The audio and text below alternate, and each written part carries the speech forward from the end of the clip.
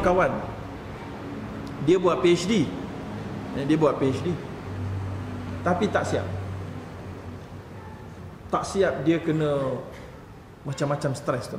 Bila tak siap ni boleh kena buang universiti, boleh kena bayar balik denda 500 ribu ringgit kalau buat kat, kat dekat luar Malaysia.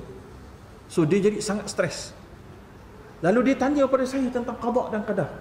Tak betul qada qadar saya so, macam kenapa Allah pilih saya? Ah dia mula talbis iblis. Kenapa Allah pilih saya tak lulus sebagainya? Kan qada dan qadar bukan kan Allah Allah dah tahu dah saya tak lulus. Tapi kenapa Allah buat saya tak lulus? Ha, dia mula gitu. Ha, ni akal tempat masuknya syaitan dalam isni kita. Dia faham? Sampai orang kata, kan kita jadi baik pun Allah dah tentukan. Jadi jahat pun Allah tentukan. So buat apa nak buat apa-apa? Oh, pak, syaitan masuk. Syaitan masuk dalam kepala. Ya? Sebab apa kita jadi was-was gitu? Kerana kita berfikir Allah tu macam kita. Faham tak? Bila kita fikir Allah tu macam kita, kita akan rasa confused. Macam mana Allah dah tahu kita akan sesat, biarkan kita sesat dan Allah beri hidayat, Allah sesatkan balik, Allah beri hidayat balik. Kenapa Allah buat begitu? Sebab kita fikir ikut otak kita. Ikut standard manusia yang tak logik kita buat begitu patutnya. Kalau kita punya standard adil je manusia, kita takkan sengaja menyesatkan orang. Standard manusia. So kita fikir untuk standard manusia adil ni kita tak sesatkan orang. Tapi Allah ada menyesatkan orang. Macam mana ni? Nampak? Tu jadilah kita ditipu oleh iblis. Kerana kita berfikir Allah macam fikiran manusia. Sebab Allah suruh kita jangan fikir pada zat dia. Dan kita tak mampu nak fikir, jadi kalau kita segera terdatang, kita segera. Allah suruh bukan jawab dengan logik. Ada seorang ustaz jumpa saya dia kata ustaz, saya dah puas. Dia pun ustaz juga. Dia kata ustaz, tolong Ustaz, saya ramai orang tanya benda ni. Macam mana nak bagi jawapan yang muqni? Muqni. Yang convince. Ya?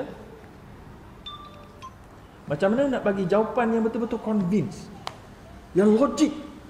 Saya kata tak payah logik, tuan-tuan. Jawapan logiknya tak perlu logik. Amantu billahi wa rasuli.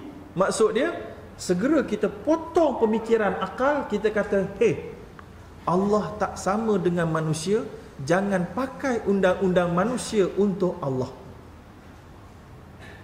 Kan? Kan Allah mudil. Dalam asmaul husna Allah tu mudil menyesatkan. Tuan-tuan tak rasa apa-apa Allah menyesatkan. Kata Allah adil kata Allah baik. Baik apa menyesatkan. Ha macam? Syaitan duk masuk. Jangan sesekali duk rasa ikut fikiran manusia itu caranya paling mudah tak payah maknanya ada ada juga ulama lain yang cuba nak memberikan bantuan. Dia kata gini, qada qadar Allah tu Allah dah tahu letak dalam ilmu Allah dah tahu kita akan jadi apa dekat Lauh Mahfuz. Dah tahu dah. Ya?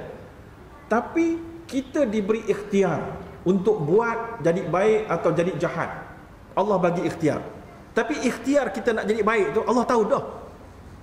Oh tu pening tu pening tu. Oh pening tu. Apa benda ni? Tak faham sana. Oh dia pening tu.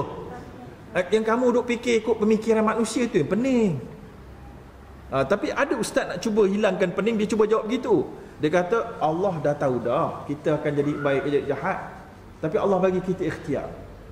Tapi kita nak ikhtiar jadi baik Allah tahu dah. Ha, so, oh, pening pening. Jadi mudahnya tuan-tuan amantu billahi wa rasul aku beriman dengan Allah dan rasulnya. Buang was-was tu segera istighfar ya segera berta'awuz kemudian fikir Allah tak macam kita habis kita. Dan kita tak tahu Allah punya standard dan kompas yang Allah gunakan atau kalau ada kompas dah apa sekalipun. Ha gitu eh